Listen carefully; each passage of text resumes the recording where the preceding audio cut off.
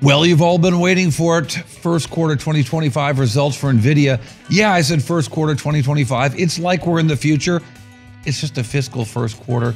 But looking at these results and hearing about this business, this is as close to the future as we've ever been. I'm Cory Johnson, Futurum's chief market strategist. Been looking at technology for a long time. No company has ever, ever put up a quarter like this. Stock market kind of likes it. It's up a little bit. But let's dig into the business story behind this stock on the move. Again, first quarter results. Wall Street likes a beat or a miss, and this was a beat a little bit. Uh, the guidance also a little bit better. But let's look at what the business actually did in the quarter.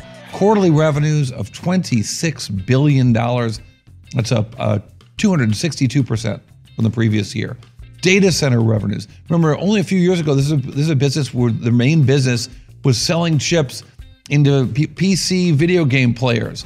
Well, now it's data centers, uh, computers, if you if you will, that don't even have uh, monitors, let alone individuals to run them, run for so many individuals. Well, data centers, two hundred twenty-two point six billion dollars in revenues, up four hundred twenty-seven percent from the same time last year when it was pretty good. And the company announcing a 10 for 1 stock split effective June 7. So for every shareholder on June 6, they'll get nine more shares at one tenth the value the next day. Let's look deeper uh, into the numbers. Uh, as I mentioned, 262% revenue growth, really an explosion of growth, kind of coinciding with the release of Chat GPT um, and uh, the NVIDIA chips that uh, ran that incredible device and that real, the AI moment I think we'll look back on forever is when AI became a consumer device and NVIDIA really the beneficiary here. Now, unheard of profitability for the semiconductor business. 65% operating margins for these guys. Just absolutely fantastic. Um, and, um, and we'll talk about that a little bit more as how it compares to the rest of the industry. But I mentioned also the gaming business. That was 45% of their business in January 2022. Now it's only 10% of their business. And you can look at it when you look at the different business units of gaming, professional visualization, data center, auto, and, and OEMs. OEMs non-existent business at this point in time. But data center has just taken over this business at NVIDIA. How did the stock react? The stock seems to always react when NVIDIA talks. It was up, but not a crazy amount, up 5% in after hours trading, but that's after a better than 200% return over the last year. Now, on the conference call, uh, Jensen Huang, the, the CEO and founder, co founder, was asked about the demand, how real the demand is. Uh, the customers of semiconductor companies lie. I've been saying that for years. I'm saying it right now. The worry is they're over ordering right now because they can't get the chips they want. And once supply is robust, are they going to back away? So Jensen was asked, uh, I, like as if we're on a first name basis, but he was in fact asked, uh, how is the business doing? What is the demand really there? Or are customers willing to stockpile chips for fear they can't get any more later? and maybe there could be some inventory growing in the channel. Uh, are we going to see AI used like we imagine it could be used? And he sounded pretty excited. The demand, I think, is is um, uh, really, really high, and it outstrips our supply. Uh, longer term, uh, that's what that's you know that's the reason why I jumped in to, to make a few comments. Long longer term, uh, you know, we're, we're completely redesigning how computers work. And it's, this is, this is a platform shift. Of course, it's been compared to uh, other platform shifts in the past, but, but um, uh, time will, will clearly tell that, that this is much, much more profound than previous platform shifts. And the reason for that is because the computer is no longer an instruction driven only computer, it's an intention understanding computer.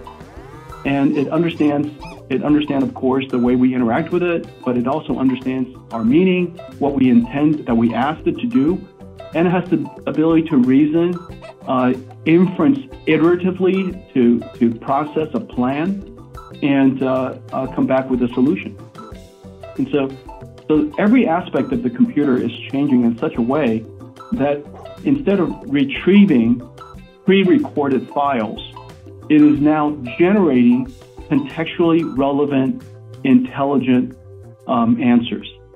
And so that that's going to change computing stacks um, all, all, over the world. And you saw at Build uh, that, in fact, even the PC computing stack is going to get revolutionized.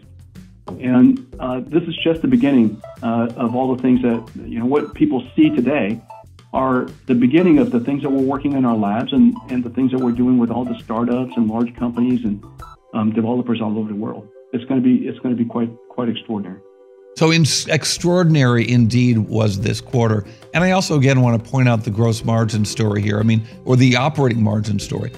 When companies do well, it's not always they're not always able to raise their prices and keep their expenses down. Nvidia has done this like no other semiconductor company of size that we've ever seen. In fact, it's rare of any company to do this at this scale. With these 65% operating margins, compare that to Intel, a company that's been selling semiconductors for a very long time and has you know, at one point in time had margins better than Nvidia, but certainly in line with Nvidia. In fact, only a few years ago, these companies had similar operating margins. Intel's now at negative 8%, while uh, selling chips for uh, less than it costs them to run their business. And yet, uh, NVIDIA putting up 65% operating margins, just fantastic. But I got one number that's maybe even more important, the one number that's going to tell you a whole lot, and a summary of NVIDIA earnings right after this. The drill down is brought to you by Futurum Group, where analysts, researchers, advisors, content creators, and marketing experts help business leaders anticipate and understand shifts in their industries and build strategies to leverage disruptive innovation. With deep analysis, Futurum Group's extensive industry experience delivers reliable research and data, thought leadership, and actionable advice to help you with your strategy and go to market efforts. Futurum Group. So here's everything you need to know about the first quarter 2025 results from NVIDIA. Fiscal first quarter results, obviously, it's 2024 still. But these results really show us the future. They show us the investment in these semiconductors $26 billion in the quarter, up 262% for the previous year. And a stock split announced 10 for 1, but that's not the bite. That's not the number that tells us a whole lot. What's really interesting here is how this business is different than all the other semiconductor businesses. In April of 2022, only two years ago, Intel and NVIDIA and a lot of other big semiconductor companies looked a lot alike with about 20% operating margins when things were going well. Well, here we are now. NVIDIA had 65% operating margins. Compare that to Intel, negative 8. 65% operating margins. Absolutely fantastic. Right, check me out on X at Cory TV. Futurum Group's webpage uh, on YouTube has some fantastic stuff about technology and about NVIDIA. Drill Down Earnings, part of Six Five Media.